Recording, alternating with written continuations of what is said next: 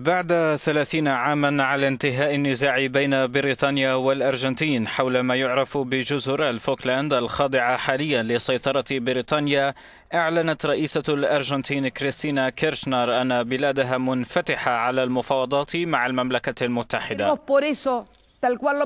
نحن نريد أن نجدد المفاوضات. كيف يمكن أن نتحمل المسؤولية تجاه ما حصل في الرابع والعشرين من أذار مارس من العام 1976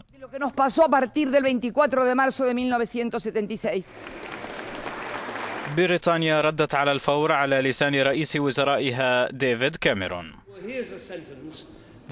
لن يكون هناك مفاوضات. هذا لا يقلل من عزمنا. التهديد لن يجدي نفعا ومحاولات تخويف سكان الجزيرة لن تنجح لأن بريطانيا ستقف على أهبة الاستعداد إلى جانبهم. ويبلغ عدد سكان هذه الجزر التي تقع قبالة سواحل الأرجنتين حوالي ثلاثة آلاف نسمة.